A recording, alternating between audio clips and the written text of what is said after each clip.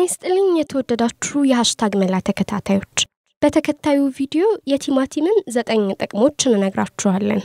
አንደኛ ለቆዳችን ጤንነትና ልስላሴ። ጥሬውንም ሆነ የተዘጋጀ የቲማቲም ጁስ ለቆዳችን ልስላሴና ጤንነት ትልቅ ሚና ነው ያለው።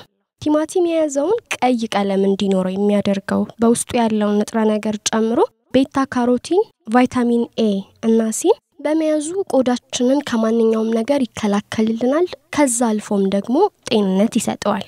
ሁለተኛ አንቲኦክሲደንት እንድናገኝ ነው። በሰውነታችን ውስጥ በቂ የሆነ አንቲኦክሲደንት ካለ በደማችን ውስጥ ሊፈጠሩ የሚችሉ ጎጂ ራዲካሎችን የማምከን ባህሪ አለው። ስለዚህ አንቲኦክሲደንትን በደንብ ለማግኘት ቲማቲም በደንብ መመገብ ይኖርብናል ማለት ነው። ሶስተኛ ክብደት ለመቀነስ ቲማቲም ለጤንነት ብቻ ሳይሆን እንግዲህ ክብደት ለመቀነስም እንደሚረዳ ነው ጥናቶች የሚጠቁሙት። ቲማቲም ዝቅተኛ ካሎሪን በውስጡ የያዘ ሲሆን ኃይል ሰጪ ከመሆኑም ባሻገር በርካታ ንጥረ ነገሮችን በመያዙ ጥቅሙ ያየለ ነው። ከዚህ ባለፈ ደግሞ የፈሳሽነት ባህሪ ስላለው የረሃብ ስሜትንም ያጠፋል። እንዲሁም በደማችን ውስጥ የሚኖረውንም የስኳር መጠን ይመጥልልናል ማለት ነው። አራተኛ ለሚያምር የፀጉር እድገት በቲማቲም ውስጥ ያሉት ቫይታሚኖች ረጅምና ጠንካራ ፀጉር እንደሚሰጡን ያውቃሉ?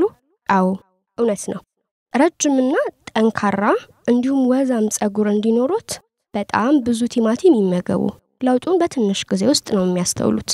አምስተኛ ለጤናማ ልብ ቲማቲም በውስጡ ቫይታሚን ቢ እና ፖታሽየምን ጨምሮ የኮሌስትሮል መጠንን የመቀነስ አቅም ያላቸውን ንጥረ ነገሮች በመያዙ በተጨማሪ ደግሞ የደም ግፊትን በመቀነስ ረገድ ባለው ከፍተኛ አቅም ጠንካራ ልብ እንዲኖረን ያደርጋል። ስድስተኛ ለነፍሰ ጡር ሴቶች ነው።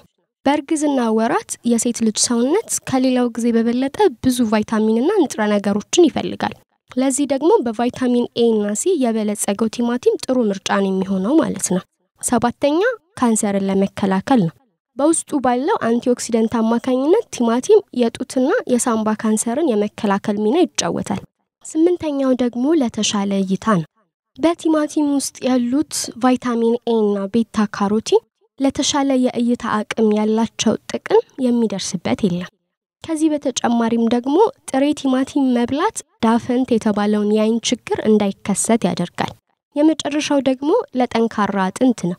በመቶ 80 ግራም ቲማቲም ውስጥ በአማካኝ 17.7 percent የሚሆን ለአጥንት ጤንነት ትልቅ ጥቅም ያለውን ቫይታሚን ኬን እናገኛለን።